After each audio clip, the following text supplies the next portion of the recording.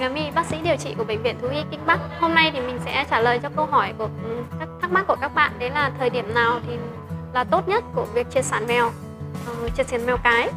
Thì uh, nếu bạn nuôi một bạn bé mèo từ bé và không có ý định sinh sản thì thời điểm tốt nhất để triệt sản đấy là tầm 7 đến 8 tháng và khi mà bạn đã tiêm phòng đầy đủ ít nhất là hai mũi vaccine uh, bốn bệnh cho mèo và một mũi vaccine dại. Uh, sở dĩ tại sao lại nên tiêm phòng bởi vì là khi gây mê làm triệt sản ấy, thì cái sức đề kháng của con mèo nó sẽ yếu. Và khi đó thì rất nhiều cái môi trường nuôi mèo có rất nhiều cái virus dễ bị uh, gây bệnh cho mèo. Thế nên khi mà đã tiêm phòng rồi thì mèo có sức đề kháng thì cái khả năng bị bệnh kế phát các bệnh truyền nhiễm nó sẽ ít hơn và tính mạng con mèo nó sẽ được đảm bảo hơn. Còn uh, với những cái mèo mà bạn đã cho đẻ một hai lứa uh, hoặc là đang nuôi con thì có làm triệt sản được không? Thì câu trả lời là có làm triệt sản nhưng với điều kiện đấy là các bạn um, thứ nhất là con con phải được um, ít nhất là hai tháng tuổi. Là cái thứ nhất. Cái thứ hai là lứa đấy là không phải lứa sinh mổ. Nếu đã sinh mổ thì phải ít nhất là tầm 6 tháng sau thì bạn mới gây mê để làm triệt sản được. À, cái thứ ba đấy là cái nầm sữa của con mèo nó không quá nhiều. Tức là cái nầm sữa không to quá để cái thủ thuật uh, triệt sản không bị nhiễm trùng đấy là vấn đề khi nào thì à, làm triệt sản và một câu hỏi nữa các bạn ấy hay gặp phải đấy là khi mình hay hay được hỏi đấy là à, cái cái việc ờ, triệt sản mèo cái thì cần chú ý những gì?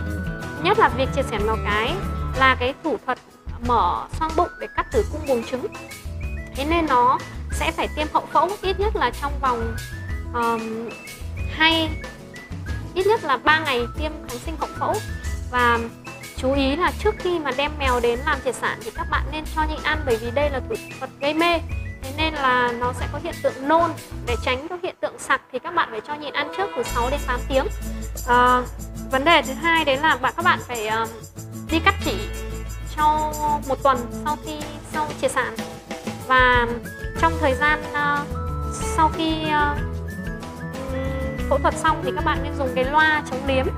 Cái loa loa chống liếm để cho nó khỏi liếm vào uh, vết vết vết vết mổ ở bụng. Và nên kiểm tra vết mổ hàng ngày để xem là nó có dịch hay là có viêm gì không. Um, một câu hỏi nữa mà mình hay gặp phải đấy là tại sao khi mèo cái triệt sản rồi mà lại vẫn có hiện tượng kêu gào đực? Thì mình xin trả lời như thế này. Uh, các bạn có hỏi là có phải là triệt sản sót không? Thì không biết bên các cơ sở thú y khác thì mọi người triệt sản có cắt buồng, buồng trứng không? Nhưng riêng ở bên ờ, phòng khám bệnh viện thú y kinh bắc thì là cắt trọn vẹn cả tử cung và buồng trứng.